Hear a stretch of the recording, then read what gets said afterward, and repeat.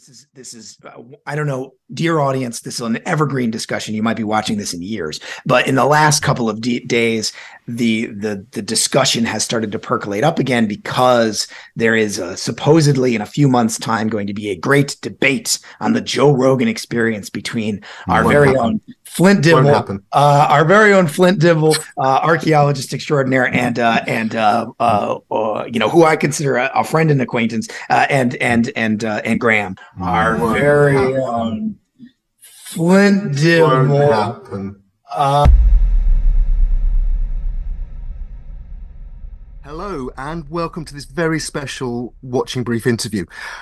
The only archaeological show in town for the last couple of weeks has probably been the debate between Graham Hancock, pseudo archaeologist Graham Hancock, um, and our guest, Dr. Flint Dibble, on the Joe Rogan experience. Um, welcome to the Watching Brief, uh, Flint. And uh, as, uh, uh, as I said in, in, in our prep for this, what we wanted to do really was to explore the importance of the debate you, that you had with Graham Hancock over four and a half hours, if people want to look at it. Um, it's now had several million hits. Um, it is, it, you know, it's it's a I think we could say it's a significant cultural phenomenon, certainly in, in our sector, in the in archaeology and heritage sector, uh, and probably certainly in the English speaking uh, part of the uh, of the universe. Um, and so I think that there are there is a lot to explore here with you, and I I need to begin really by making an apology because long before we set up this interview, um, long before it, ha- happened, um, I went on the record with my good colleague, Mr. Barkman Astles, who sat uh, behind the technology here on, on the watching brief.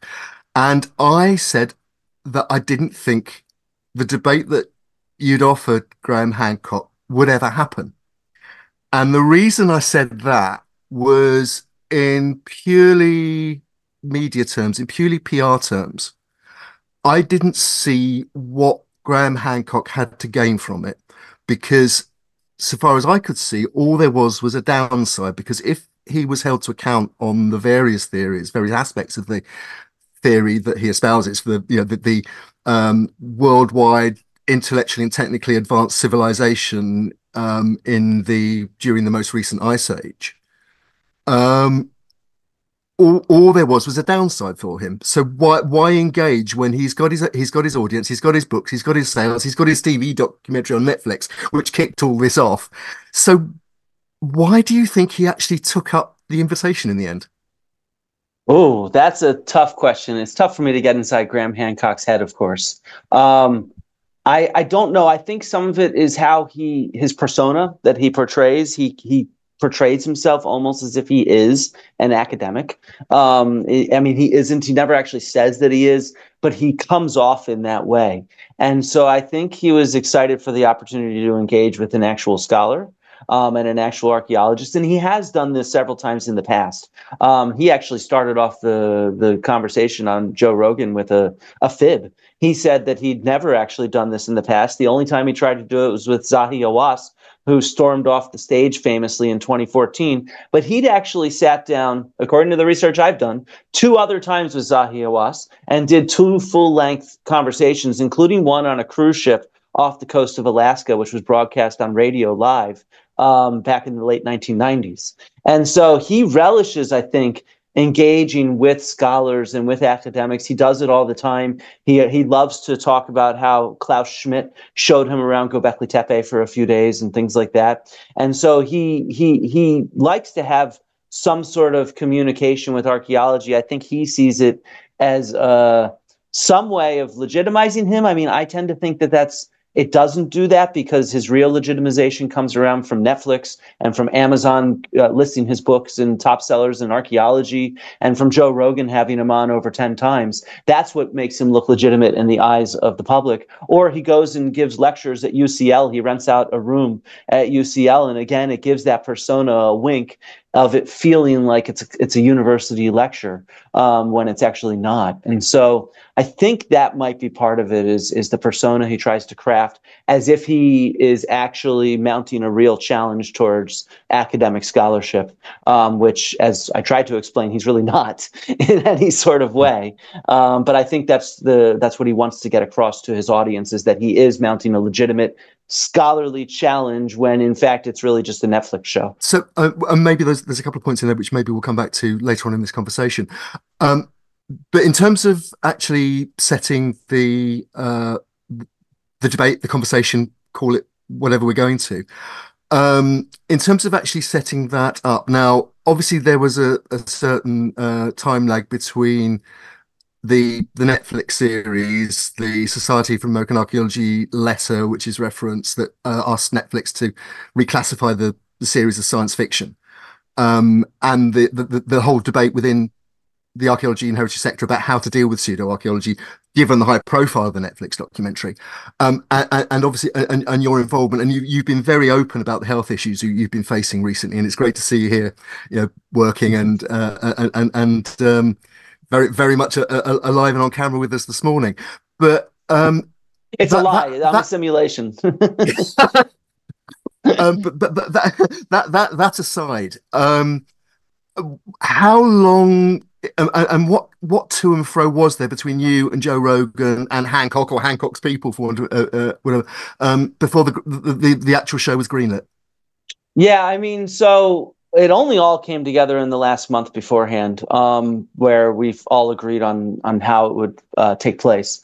Um, but the, there wasn't a ton. It was mainly just on delay due to my health issues. Um, we were originally supposed to do this in October, last October, but since I was dealing with that targeted therapy, the chemotherapy I was on, I was not up for it. Um, I had really nasty fevers and just traveling like that did not seem like something I'd be good for. So that was really the biggest delay. I got off my therapy, what, uh, six weeks ago, almost to the date. And so it was around that time that we finalized everything and and and finalized the date and, and all that kind of stuff.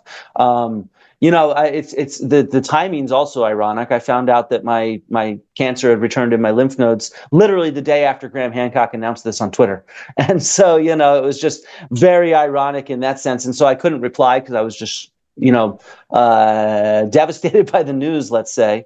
Hmm. And uh, in the end, it's okay. I'm I'm fully cancer free and I'm done with the therapy. But uh, it was just yeah, that that sort of helped define the timeline of it. Was just my health issues, and so that's really most of what complicated it in that sense and delayed it. Yeah. I mean, we were originally going to do it in October simply just because we needed a time when both of us could travel to the US because that's also not so easy to work out. So even then it was going to be delayed by by several months simply because of you know, I was excavating over the summer. He was doing whatever the heck he was doing. And so, yeah, that was the time we'd sort of agreed on it originally. Yeah. Most of what we do here on, on, on the watching brief, we do remotely as we're, as we're talking remotely now. Um, and I, I, I'm, assuming that it's very much a part of the Joe Rogan experience that it is a live studio event. Is that, is that right? Yeah, I I mean I've i have not seen all of Joe Rogan's episodes. I've actually seen only a few, but uh, I think all of them are in person. I don't think. I mean, there might be like a small zoom in type thing, like if you saw the Michael Shermer Graham Hancock thing from several years ago. Each of them had a friend on call that could zoom in, and uh, uh, me and Graham both showed up with some pre-recorded little comments by colleagues or by other people. Uh, but in general, I think Joe Rogan only does it in person. Yeah. And uh, an obvious question, a sort of human interest question rather than academic question. But uh, I'm, I'm assuming you hadn't met Graham Hancock before. What was it like to actually meet him in person? Uh, yeah, it was interesting because, you know, obviously I listened to so much of what he said, and I'd heard from other people that had met him in person that he's a very charming, kind individual in, in person. And he came off that way, except when he tried to misrepresent me during the on camera in the conversation. But, but behind the camera, he was, he was very, you know, charming and kind and personable. Um, I mean, so was Joe Rogan. They were, they were, yeah, yeah. No, no I, I complaints think, on that. right, and and in, fact, I mean, one of the um, one of the thoughts I had watching it um, was, and actually, uh, I have to admit here, although I'm I'm a person that likes to think they follow the media and and and, and trends in, in in the media and the social media and so on, and and, and obviously we use social media formats all the time here again on on on, the watching brief and. I, along with many of our colleagues. Um, but I hadn't expected Joe Rogan to come across in the way he certainly comes across, I think, in the conversation between you and Graham, um, as he did come across as a more or less objective, interested interlocutor and moderator. So he, he, he wasn't trying, he, he wasn't, given how much of his audience is reputedly in that area of people, that segment of the population that enjoys conspiracy theory and um, anti-science, counter-science, whatever you want to call it. Um, it wasn't what I was expecting. Did did were you surprised by that, or or, or, or was that how you you what you expected from the from the pre discussions you've had? I mean, so you know, I did as much research as I could to prepare for this, and uh, so obviously, I watched a lot of different Joe Rogan episodes. I watched a lot of Graham Hancock and read Graham Hancock, and I I knew what to expect from uh, Graham to a certain degree because I I really you know tried to nail that down because he talks about a, a, set number of things and I wanted to make sure I was prepared for most of them or and, and to know what I wanted to talk about and what I didn't want to talk about on camera. With Joe, it was more difficult to tell how he would how he would be as a moderator. Um, when he has scientists on, uh, which he has had several scientists on. Obviously, the majority of people he has on are comedians or or sports figures, but uh, he does have scientists on as well as the many pseudoscientists he has on. And when when he has scientists on, whether it's Neil deGrasse Tyson or Andy Dessler, who's a climate scientist, or Peter Hotez, who's done vaccine research, he actually is a very good conversationalist with scientists, and he's frequently persuaded by what scientists have to say. Um, and so that was my hope, and I think it went in that direction and i'm very grateful that it did. I did not necessarily expect that though because he's also had graham hancock on you know 12 times or something like that. He was a producer and appeared on the ancient apocalypse and so i was very nervous about that uh, relationship uh, getting in the way of me being able to say what i wanted to say. And so i was pleased that it did not. I think joe started off very strongly in Graham's camp, even at the very introduction. He introduced Graham as, you know, the first real guest on his show and made it clear they were buddy buddy. But as I a came in with interesting and entertaining information and a lot of information that really showed that arche- what archaeologists do and, and, and the kind of evidence we have it, it at least seemed to me as if he became more and more persuaded by it as the uh, conversation went on i also don't think he was very pleased with how uh, Graham was showing like social media posts and stuff like that. I think he preferred more of like a a highbrow conversation and not this lowbrow stuff that that Graham was trying to do. And I think that also worked in my favor with Joe because Joe is very sensitive, I think, to free speech and cancel culture and all that kind of stuff. Mm. I don't always agree with his views on that, but I think in this case it came out in my favor. I mean, it was one of the reasons I, I, I agreed to do this was because it would be a long form conversation, and because Joe Rogan's team is very famous for not editing down those conversations and clipping it up. So I knew I wouldn't be, you know, clipped out of context heavily, and that was one of my main goals going in. In addition to the precondition that I start, you know, so I could lay down all the evidence right away and define what archaeologists do and things like that. And so I was really glad to see that, you know, Joe I guess sticks to his guns on, uh, on on being a free thinker and authentic in how he sees things, and he he certainly did that. I think it upset a lot of Graham fans and some of his own fans even to sort of see him siding with me at times over Graham. I don't think he did entirely, but at times, if you see what I mean, and I, I think that that was powerful as well, and how how it hit the audience, if you see what I mean. I'll pick up on that a uh, couple of uh, things from that in, in, a moment, if I may. And, and just for, in, in, case anyone's new to this uh, and new to to uh, to the watching brief, um, I should make it clear we've not made any.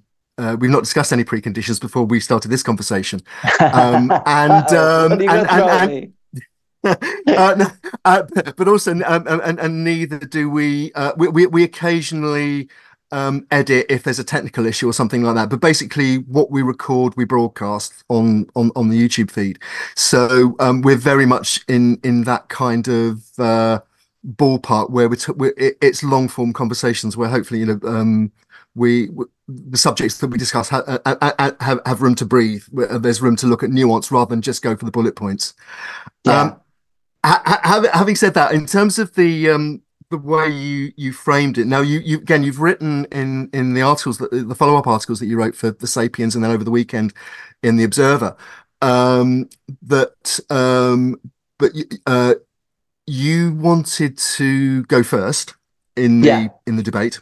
Uh, and, and and that um, and, and you you got that um, that that request accepted. Um, why did you want to go first?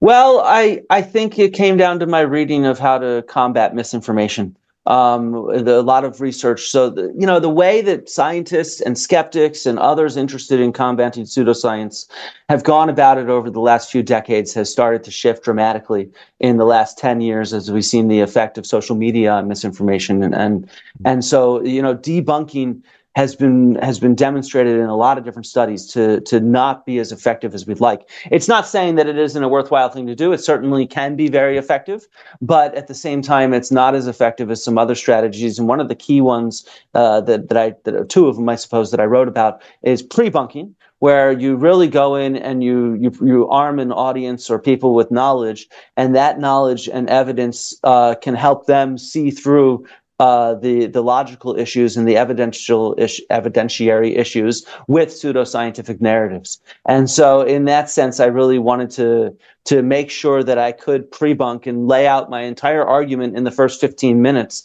in a very clear fashion with images, so that that would stick in people's brains. They would actually understand before Graham has a chance to explain his narrative what kind of evidence he's up against. You know, I really went for the big data kind of approach um, where I was trying to explain we have millions of sites and billions of artifacts. You know, we have so many shipwrecks everywhere. We do a lot of underwater archaeology. We survey the Sahara. We have 13,000 Paleolithic sites in the radio in the Paleolithic radiocarbon database of Europe. And so it's just like it, to wave away all this evidence God, that's not so easy to do, and people need to recognize this. And so that was really what I wanted to start with, and and I tried to, you know, capture their attention with, uh, you know, some scenes of hardcore graphic sex on Athenian pottery that my PhD supervisor had published on to I show was, uh, the way. you know, I, I I was about to come to that because Yeah. um, certainly it, it was certainly eye catching, and it was certainly a uh, the, the the export of erotic pottery, uh, Attic pottery from. Uh, from from Athens to northern Italy and the Etruscans was a new one on me, I have to say, and it was uh, and, and, and fascinating it was. Um, but but what, one one quick question on that you you, you Yeah. talked about um, the, having the the, the the graphics, the you know the, the the the PowerPoint that we're all familiar with as when we're giving an archaeological lecture, using archaeological language, if you like, visual language and verbal language. Um, before we started this recording, Marc and I had a long conversation about what a podcast actually is. uh-huh, uh-huh. Um, and, and obviously, there's no question that Joe Rogan is a podcaster. That's how he defines himself. Um, but podcast began as largely an oral medium, yeah, sound medium. It's now morphed into this um, visual medium, not just through Joe Rogan with the you know millions of hits he gets on on YouTube, but the BBC does it with things like uh, the, the the political podcasts that it runs and so on. The um, global with their with, with their podcasts like news agents and so on. Um, so we're now used to trying to come up with um, a language that works in both. Mhm. So, how successful do you think it is? Was what compromises did you have to make when you're showing a fabulous slide of an erotic Athenian vase, but a large part of the audience can't actually see it? Yeah, well, that's why I asked Joe to describe it. that's how I started off. Um, but yeah, I mean, that's look, archaeology, so much of our evidence is visual. And so I, I wanted to make sure, even with that first slide and the description of it, it was meant to be kind of a cue to the audience hey, think about watching this. Um, because there's going to be a lot of visual evidence that's there in front of you. Um, And to a certain degree, I think it's a lot of it just comes down to explaining things clearly, where the slides are supplementary uh, supplemental rather than uh, the absolutely necessary, right? And so I think that, that that comes down to how scholars can speak to the public. We need to become confident in a look, we need to express complicated information in a clear way. That's just life. We can't dumb things down. If we dumb things down, we're going to lose the audience. But at the same time, what we do want to get rid of is as much of the jargon. So that's where some of the practice came into play. Like, so I wouldn't say Pleistocene, but I'd say Ice Age, you know? And so the, hmm. trying to make sure that I'm not getting too technical with the language that I'm using. Um, but I still stay at a high level in terms of the evidence that I'm using. And so I think there's always going to be that trade off. But I, from at least the feedback I've seen, a lot of people that just listened to this and didn't see it really got a lot from it. Though I have heard from several people, boy, when you went and watched it rather than listen to it, it made a it made a big difference to see everything at the same time. And I, I sort of hope that some of that came across because we kept talking about the visuals, the blurry photos that Graham was showing, and things like that. And so my hope is that more people at some point tuned in with the with the visuals because I think seeing is a certain level of believing that I think is important for for some people. It's a different way of learning, and so I rather than listening. And so I think having both of those there is really valuable. Yeah. Yeah. Now, now, um, one of the um, you you talk about um, uh, visual and blurry photographs and so on. Um, I'll pick out maybe one or two moments that certainly jumped out at, at me when I was watching the the show, um, and, and, maybe just to, to, explore maybe in a little more depth. And, and, and, I, and I do say to our audience, do try and give it four and a half hours of your time. Treat it as a mini series if you have to. Um, but it does there's a lot of nuance, I think, in the course of that running time, uh, which you don't normally, we're not normally used to in mm-hmm. uh, certainly broadcast archaeology debates and, and, and, and actually podcasts, which are often time limited um, to around half an hour or so, or maybe three quarters of an hour or so. Um, but I'll, I'll, start, if I may, um, by talking about the discussion that you had about Yonaguni. Mm-hmm. Because it struck me watching it that that was one of the areas where Graham Hancock has made a lot about Yonaguni off the coast of Japan. It's these uh, this these stepped rock structures, for want of a better word, um, that are only accessible as a diver. Now, um, Graham Hancock's compl- uh, argued that the they're, they're stepped, they're right angled, they're they're human constructs, um, and they would have been above sea level during the most recent ice age, during the time when his worldwide civilization of navigator priests are are allegedly active. Um, but you came back at him with the work of the geologist Robert Schoch, mm-hmm. who Hancock's previously quoted in support of his work, including principally, in fact, um, to do with the um, alleged uh, water effects on the rock that the Sphinx is carved from on the Giza Plateau. Um, but Schoch has come out and said that actually Yonaguni isn't a human construct. It's natural. The right angles aren't right angles. There are no uh, tool marks. Um, it's noted that the rock that it's made from doesn't appear in structures on land nearby, and so on and so on and so on. So, uh, how did you find that whole that whole passage of the of, of the discussion? yeah, I mean, I actually thought it was kind of funny because Graham kept trying to bring up geo- geological examples, and he he really shied away from going to any of the archaeological sites that he normally goes to, and so that actually kind of shocked me. I'd done more preparation on the archaeology side of things, obviously, and sort of the the answer over whether Yonaguni is man-made or not, it comes down to geologists. I mean, from my perspective, it's a tough thing to express because it just doesn't look like any other archaeological structure out there. It's certainly not a wall. It's certainly not anything. And so, but the only way to really make that point clear is to show photos of a million other walls and other features that are anthropogenic. And so it's not something to get across so easily in a debate, me not being a geologist. And so it, it was, it was, a difficult to deal with in that sense and b also kind of ironic because he really did not want to talk about any actual archaeology. Even when he brings up Gunung Padang, he's like, we don't have time for this about the details of the archaeology. This is like, there's still like three hours of chatting left. And so it's just like, come on, man, why don't you want to talk about archaeology with an archaeologist? If you want to make a claim that this is an archaeological monument, where are the finds? I don't, I can't think of any single archaeological monument that does not have an artifact associated with it, whether it's underwater or above water. And so, you know, that was the point I kept trying to hammer home is where's the clear evidence? Where's the tool marks? Where's the finds? This is what we need. And on top of it, yeah, it just doesn't look like any archaeology in the world. It does not match anything, which is how archaeologists go about identifying things. We have other examples that are clear cut, and then we use those to help uh, understand and define what we're looking at typologically or otherwise. Perhaps it comes back to the point you were making earlier about um, Graham Hancock seeking some kind of um, not justification, but affirmation, really, it, by being able to interact with these you know, professional groupings, be they geologists or, or archaeologists. And you just mentioned Gunung Padang. Um, obviously, that's been in the news a lot recently because of the retraction of the Wiley paper in uh, mm-hmm. uh, geophysical prospection, uh, which we've covered here on the Watching Brief. There's a lot of uh, literature out there about it, including a very comprehensive, um, I think, pretty angry um, exposition about it on Graham Hancock's own website.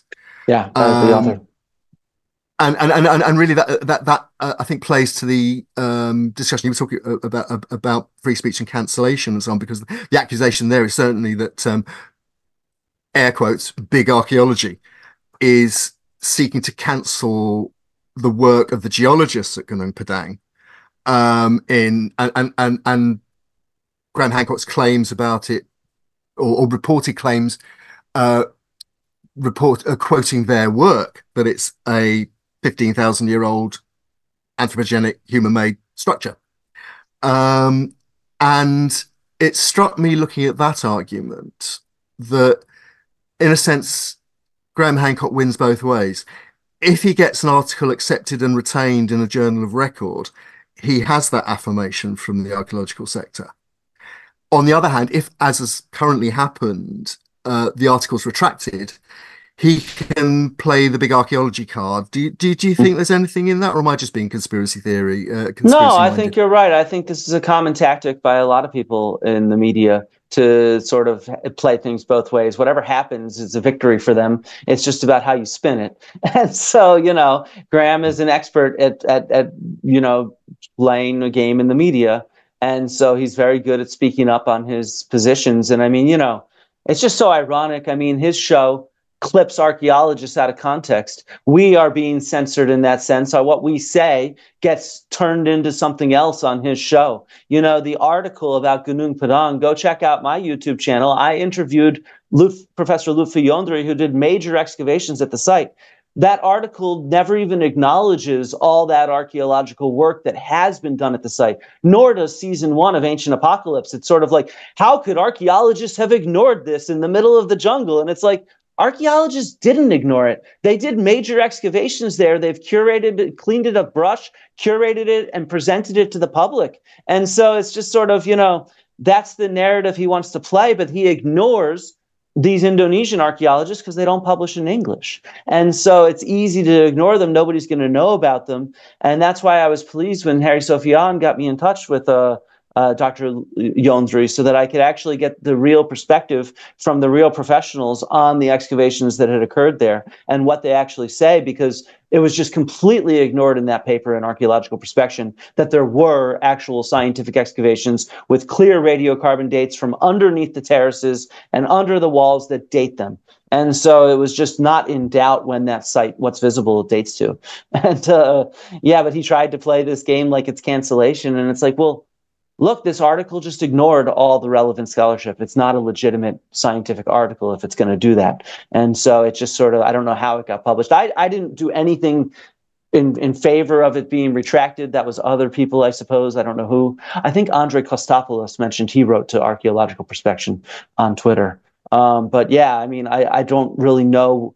It's, I, I, you don't see many archaeology articles retracted, um, but I think that this one was published in bad faith purposefully eliding the archaeology that was done. And so I have mixed thoughts on it. I can understand the justification for retracting it. It seemed not to be done in, in good faith science, if you see what I mean.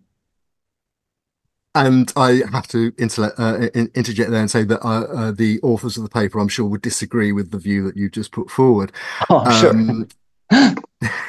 um, it struck me watching it, though, that one of the most emotionally engaged um, disagreements, in effect, was the discussion of the impact of Graham Hancock's hypotheses on discussions of colonialism and racism in archaeology and um, folklore and, and, and, and, so on. Um, now, uh, Graham Hancock got very exercised by the any idea that he was uh, enabling racism, let alone he was racist himself.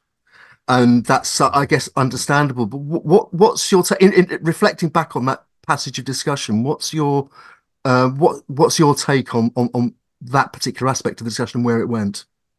Yeah, I mean, so I expected him to probably do that. I was hopeful he wouldn't because we agreed we'd stay with the evidence and stay respectful. But I think what he did was he he worked really hard to twist some of my own words out of context. I've never called Graham Hancock a racist, a white supremacist, or a grifter.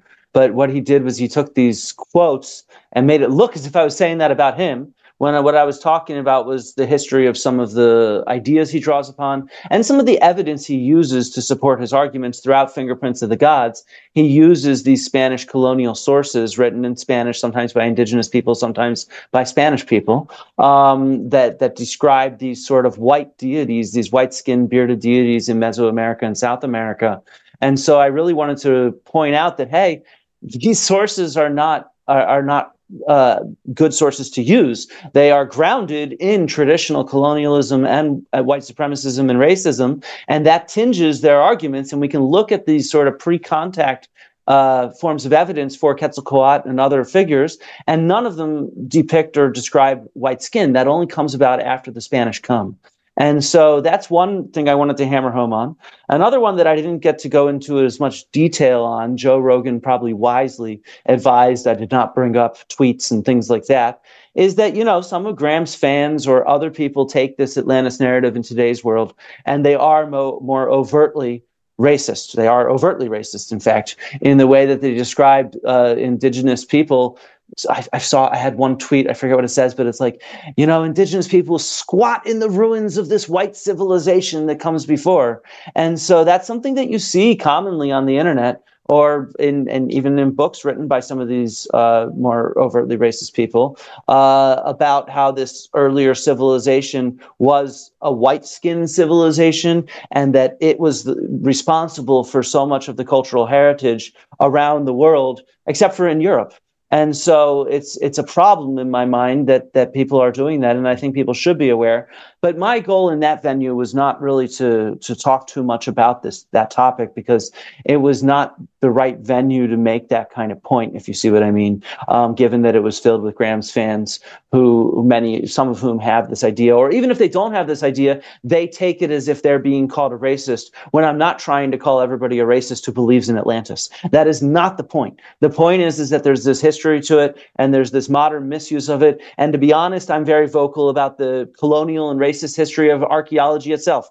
Mainstream archaeology has a very troubled past, and we should be talking about that, and we should be working to change how archaeology occurs today. That's why there's so many conversations in the media about repatriation and about how to go about doing research in formerly colonized areas. How do we do this in an ethical manner and for me, it's almost kind of silly. I work in Greece and I am entirely beholden to the Greek government. And I think that's a good thing. I work closely with Greek colleagues. I work closely with the Greek Ministry of Culture. Uh, sometimes my permits get denied. I went down to Knossos at Crete just a couple months ago, and I had everything in my permit in hand, or so I thought and then I could not export the material because uh, something had not been filled out correctly. And so it's just sort of like that is, I think, normal. We should be working with, uh, you know, local heritage with people today who are the descendant communities. That is how we should be going about this in a respectful um, manner. And so, you know, I, I, wish that more pseudo archaeology fans would think about applying that kind of same respect to local and uh, indigenous traditions um, as much as some archaeologists are. I don't want to say all of archaeology is doing a good job at this either. That would be a lie. But yeah. No, no, I mean, I, I think you're, you're, you're right in that, that that's that's an increasingly mainstream point of view in archaeology worldwide. I think. Um, yeah. That, um, but um, I, I, can I just track back a second to you talked about um, sources and and, and uh, uh, archaeological and uh, historians discussion of sources and particularly modern takes on these old tropes of the you know the the, the blonde haired white skinned bearded that are you know coming to the south america coming to south america central america um pre pre cortez um and one of the things we've discussed many times here on the, on the watching brief and i've certainly pick, picked up in, in, my own social media feeds and on on, on the uh, pipeline website which i edit um, is the way much of archaeology, much contemporary archaeological thought and discussion is hidden behind paywalls that are even higher than the journalistic paywalls that some newspaper groups put up. So it is very difficult for somebody out who's not a professional archaeologist uh, with a, with an academic tenure and a login um, to the to the Wileys of this world uh, uh and, and, and the other academic publishers we could name and arguably shame um, but a lot of archaeological research is actually literally out of reach of the public. And it strikes me that that does have an impact on the kind of discussions we're having around the work of people like Graham Hancock and their impact culturally. And I wonder, do, do you do you see that as an issue? And if so, how would you solve it? Well, I think it is an issue. I think it, especially for publicly funded research, it should be publicly available in my mind. Um, and the way that journals charge so much is a real travesty. It keeps uh, information away from the public. But I do want to make clear also that, look, like any other profession or field of science or humanities or social sciences, expertise is still important because there is a lot of publicly available stuff. It's not like there's lots of data sets that are publicly available. There's lots of, you know, your website, other websites that give information away for people to read um, very readily. But there's an overload of information, and it takes a lot of experience to understand how to navigate that overload of information that is available. And so, like I've seen even just in the last few days, people that have never read a single bit of archaeobotany have gone and found one article and they're going and criticizing my take on environmental archaeology and archaeobotany and domestication. And it's just like, this is based upon me reading hundreds of articles and dozens of books on this topic. This is not, you know, me doing it in the field. This is not something that you can just go read one article and proclaim to be a, a an expert on on YouTube or social media or something like that. And so I think that that's something that's important for the public to recognize as well. That if you do want to become an archaeologist and do archaeology, there's no need for a fancy degree in my mind, but it certainly requires a lot of experience. Mm. And it's not something that you can just go dabble into and think that you can do everything in archaeology. I certainly can't. My presentation was put together by, you know, talking with more than 20 different colleagues because I don't know the archaeology of the entire world and around where Graham Hancock goes. I got mm. help putting slides together. I got little short cl- video clips that I played. I had advice on what articles to read to inform me. I talked with people over Zoom repeatedly for the couple weeks leading up to this to to get my hand uh, my hands on the right updated information that would be relevant in the conversation. And so you know archaeology is in that sense very collaborative as well I mean, the, the worst archaeologists are those who think they know everything. What we need to be always doing is constantly learning and collaborating and recognizing the limits of our own, you know, expertise and what we can talk about, if you see what I mean. And so I think that's really important. And that was one of the goals I, I tried to get across by citing everybody on my slides and not wanting to talk about things that I'm not an expert in. But interesting you're talking about language there. It's certainly something I've, I've been very aware of. And obviously you you were you were talking about trying to uh, uh, certainly limit the amount of uh, jargon that you used in the Joe Rogan conversation.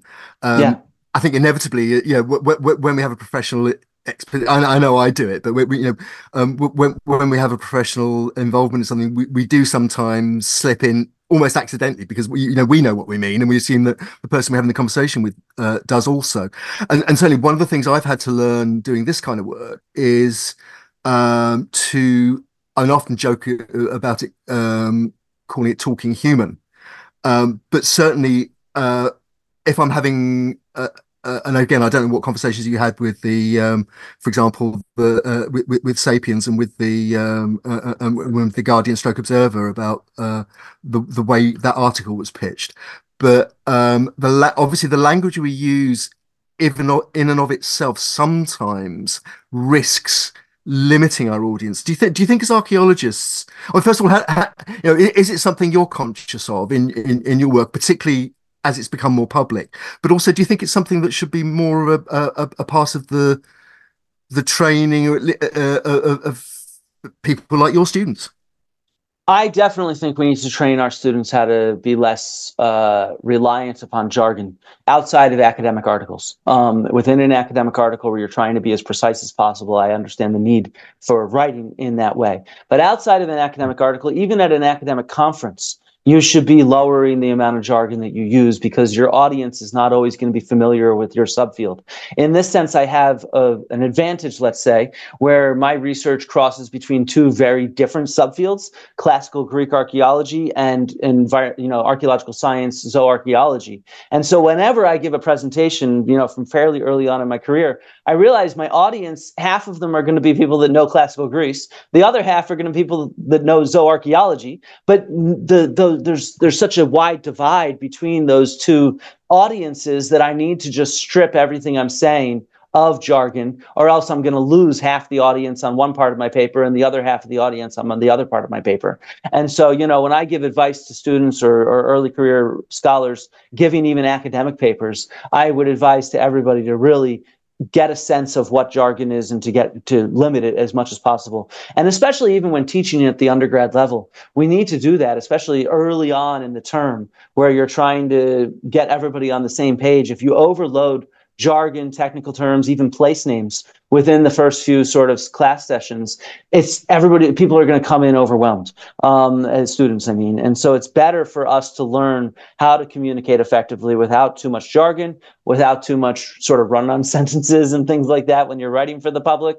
And so it's the kind of things that we're not trained very effectively to do. But I think I, I sort of, I've always encouraged people to write Twitter threads. That gives you a sense of how to write concisely and to use visuals to back it up and to obviously you're going to, it's going going to naturally start writing with less jargon if your goal is to talk with the public and to just practice with that. I think it's really important that we all become accustomed with that to understand who our audience is and make sure that what we're trying to say and how we say it is is geared to to hit that audience you know it's sort of like where you know even in that conversation on uh you know, uh, the, the, topic of racism and stuff like that. I wanted to be very careful in how I present myself. And I, you know, I, I as I think we said off camera, I was very pleased to see Joe Rogan acknowledge um, how Spanish colonization could impact indigenous mythology. And so I, I, think that that came across very well because I, I, I worked hard to explain it clearly and I had uh, an indigenous archaeologist, Kurly Tlapoyawa of Tales from Aztlantis podcast, record a little clip for me, and and and and Marika Stoll, who works in that area, and they both hit a they they, they know that area very well, so they're able to explain it very clearly. And uh, I think the combo of those things was very effective. Thinking through how to hit that audience, if you see what I mean, was my my main goal, and I think it should always be our goals when talking to the public. I'm starting to move our conversation to a to a conclusion.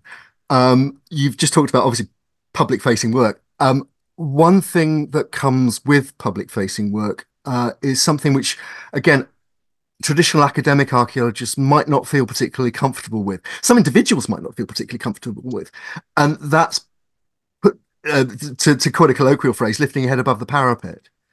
And looking at the comments um, under the YouTube feed uh, and, and, the Reddit streams and so on, um, as well as the technical issues that you were dealing with, um, there were some borderline ad hominem attacks. Some some over things you're not responsible for, like for example, who your father was, a mm-hmm. very eminent uh, archaeologist in his own right. Um, but also things you're not. Uh, you you did have some choice over, like for example, the the the the hat that you wore. um, and there were some some comments a, a, about that. Now, again, having you know, uh, I've certainly played to the the Indiana trope before. Zahi Hawass has built a career on it. Um, other, other colleagues do it as well, and, and it's a sort of tongue in cheek um, response to that to the to the Steven Spielberg Indiana Jones tropes. But did, did you find any of that hurtful or unexpected, or were, were, did you expect it? How, how did you set yourself up to deal with that? No, I actually found those comments to be refreshing because they were very superficial. And, you know, I've had Twitter spats before with Graham Hancock fans or other pseudo archaeology fans, and sometimes the stuff can get very nasty. Um, like, you know, just just extremely nasty. And uh, I'm not going to go into it, but like fairly racist or anti-Semitic and stuff like that. And uh, mm. Uh, uh, this was mostly just fairly superficial con- comments and like my sleeves because my my my shirt did not fit well, which I'll admit was my fault. I should have tested that shirt more beforehand, but uh, it is what it is. And I, I prefer somebody commenting on my sleeves or my hat or even my dad than to be going deeper and start stalking me or something like that, which I've not seen much of. And so uh, I was very pleased with the mostly positive comments directed at me. My Twitter DMs were 90% positive people who used to be Graham Hancock fans saying, wow, I, I actually learned a whole lot and I see the problems with what his narrative is. I've, I've gotten thousands of messages from people that were former Graham Hancock fans or just Joe Rogan fans who have made that kind of point. And that's actually what I've seen the most of. And then the critique has been fairly superficial. I actually think, look, some people in the field critique wearing a hat like that. I got my hat in a flea market for a dollar in Santiago, Chile. I like wearing it. I think that for the public, it qu- pretty quickly just tells them I'm an archaeologist, if you see what I mean, without having to de- deal with anything else to prove myself or something like that. Look, I study ancient Greek pottery, for example, and when they depict deities or heroes, each of those heroes or deities has a quick little attribute visually that identifies them. And it's sort of like having a trope. We see this on TV all the time. A nerd is always going to have on glasses, right? You know, and so that's just how it goes. And so I think that that's it's it's easier to play into those tropes and accept them and to therefore just immediately jump into the substance of what we want to talk about rather than something else. And you look, if people are going to criticize my dad, well, fuck them. My dad was a great dad and a really good archaeologist. So, you know, I could care less. I'm going to bring up his research when it's relevant, and that's life. yeah. Uh, okay. Um, now, I, I, in terms of where we go next, I'd just like to offer you, and and and because I think obviously, you know, what what you've been a part of, I think we, as I said at the beginning, we we all admit is a significant cultural event in in archaeology. Um, but uh, and and it's part of a, a very current discussion about how the sector responds to pseudo archaeology and you know uh, umpteen series of ancient aliens and the curse of Oak, Oak Island and so on, rating probably far higher than a lot of what we might call straight archaeology or legit archaeology or whatever, however we want traditional archaeology, however, however, we want to frame it. Um, I'd just like to read you something you, you alluded in the uh, to to, um, to a previous uh, some previous media criticism of Graham Hancock um, mm-hmm. and uh, in the Horizon uh, program. Uh, it was alluded to in the in, in the in the Joe Rogan experience. I'd just like to read you something. Um, the program had created the impression that he was an intellectual fraudster who had put forward half baked theories and ideas in bad faith, and that he was incompetent to defend his own arguments. Now, in 1999, the British Broadcasting Standards Commission, uh, to whom Graham Hancock complained in those terms, along with many other complaints, um, the commission, quote, finds no unfairness to Mr. Hancock in these matters. Um, and in, in, in fact, that that was a, a complaint about um, a program um, called Atlantis Reborn, mm-hmm. uh, which was covered in the BBC's Horizon strand, their mainstream science strand, in 1999. In the light of that uh, Broadcasting Standards Commission, that regulator's adjudication, the um, they the BBC re-edited the program to take note of some minor criticisms and basically repeated the same criticisms over and over again. Now that was nearly 25 years ago. Why do you think you had to put your head above the parapet on the Joe Rogan experience 25 years later? Why is it still an issue? Yeah, I mean, to some degree, uh, it's he never really went away after that. If you see what I mean, he continued publishing top books he continued he he he he got in touch with Joe Rogan and went on there several times. I think that his appearances on there really helped him reach uh, new levels of popularity, which eventually led to his TV show Ancient Apocalypse. And I mean, it was in many ways Ancient Apocalypse that got me thinking about him more clearly because he's actually much more polite with archaeologists in his books. He doesn't attack us rigorously or as vigorously, I should say, as he did on Ancient Apocalypse, where it was really just a string of attacks on the profession and the people that uh, that do it. And I think that that's what makes it a conspiracy theory. Is this, you know, constant belittling and attack, calling us arrogant, calling us patronizing, riling up his fans against those of us that are really just trying to do our jobs, right? We're really just trying to uncover the past, uh, write it up for government reports or for publication in, in scholarly journals, present it to children in museums. This is what we're doing. And he's going on you know Netflix and talking to millions and saying that we are evil people who try to suppress the truth and things like that. And I think that's where it came from and that the, the sort of social media explosion afterwards, which I was part of, but I, I, I, I certainly was not as loud and vociferous as some other people who were very outright calling him racist or things like that. And so created this very acrimonious kind of social media environment.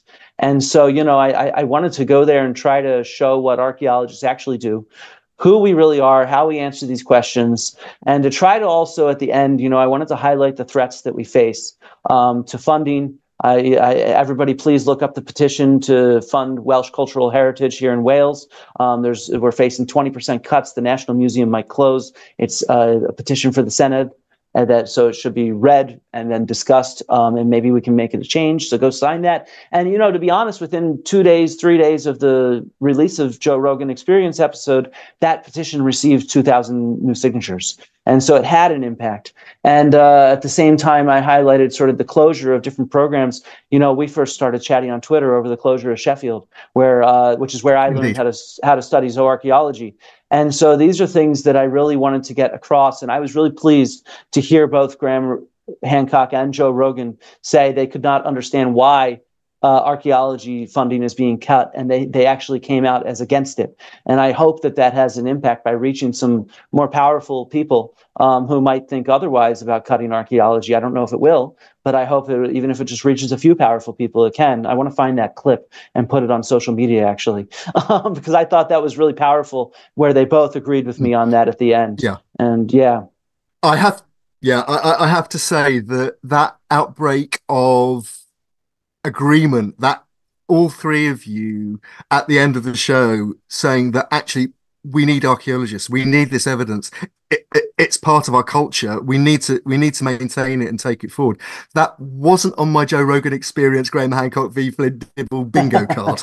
Yeah. Um, so um no I, I, and, and i think it, it, it it's probably a, a, as, as good a note as any on which to to, to, to conclude that there are some things that are maybe bigger than just this this one argument. Although this one argument does crystallize a lot of the issues in terms of uh, the, the the sector, the archaeological and heritage sector, uh, how it talks to people, how it talks to people outside our sector, how it talks to itself. Yeah. Um, but um, I think uh, uh it really just remains for me to say uh, thank you very much, Dr. Flint Dibble, for taking the time out to talk to the Watching Brief uh, this afternoon and um, wish you all the best for the future. Thank you. Thank you so much for having me. Go check me out on YouTube. well, we hope you enjoyed the video with Flint Dibble that you've just watched. And in the course of the video, we reference changes in podcasting and the expectations of audiences and participants, actually, in terms of video and audio and, and so on. We need to keep up with all of those changes and uh, and, and trends. And that takes time and it takes money. It takes money to provide our time and it takes money to provide the kit that we use and so on and so on and so on. If you enjoyed what you just watched if you think what we do is important please support us on patreon. You can do that for as little as a pound a month and you can support the watching brief by buying us buying us a coffee from time to time. Thank you. Bye bye when did more happen. Uh